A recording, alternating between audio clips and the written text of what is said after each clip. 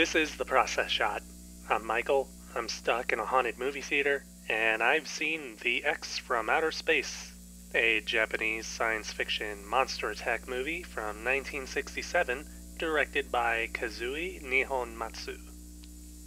It follows a crew dispatched towards the planet Mars to investigate the disappearances of other spacecrafts within the area, because that's how space works. Anyways, they end up encountering a UFO which forces them to turn back, spraying them with strange spores as well. Taking one such spore back to Earth for study, they are surprised to find that it is not simply a fungus, but a biological entity that grows immensely in size into a monster known as, uh, Gilala. Funny naming aside, the monster wreaks a path of destruction and havoc across Tokyo, as all monsters are instinctively meant to do, and it's up to the government space program to stop him before it's, uh, well, it does kind of destroy everything, so things are kind of already too late. Anyways, there's also some character development scenes, but they don't really matter too much in the long run. It's kind of ironic in a sense, as this is the kind of movie where the absence of that sort of development would be welcome, leaving more time to the monster attacks. However, now we have to sit through a bunch of scenes that set up a love triangle that doesn't matter all that much at the end of the film, as well as some other scenes that do help to build up this world. The most striking of these being the moon base, which manages to combine science fiction technology with 1960s interior decorating. It would have been nice to see more of that, maybe, but even so, it's just a distraction from the main event, that being Gilala and his reign of terror.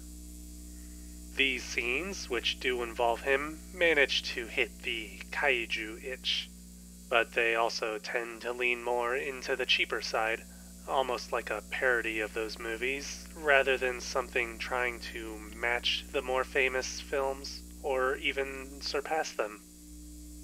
I suppose that's why they gave the human characters more to do than sit around and panic, trying to make the movie out as something a bit more than a cheaper, simpler monster movie made to cash in on the craze. Unfortunately, it didn't work out in the long run, but it's nice to think that they tried. Anyways, the actual production of The X from Outer Space does at least play nice and loose with its inspiration, or at least it doesn't try so hard to be something different that it completely misses the point. The monster attack scenes are nice and exciting, even if the actual miniatures being destroyed aren't as detailed as they could have been. Still, the movie does have some good use of cinematography and framing to try and make it all nice and believable, or at least visually interesting. The rest of the film also has a pretty good sense of scale about it, generally when it comes to cutting between Gilala's destruction and the people on the ground. There are even some special effects composites that have generally mixed results, but at least show the effort the filmmakers put into the spectacle.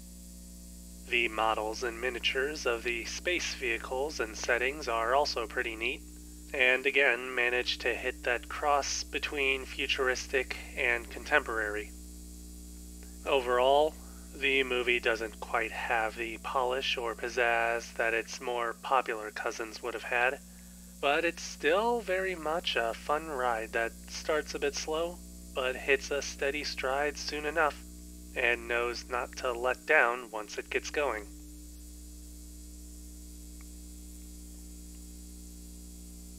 The X from Outer Space Kazui Nihonmatsu, 1967 Three stars.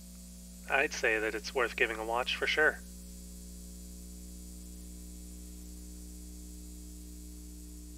That's it for this review. If you liked it, leave a like. If you didn't, leave a comment.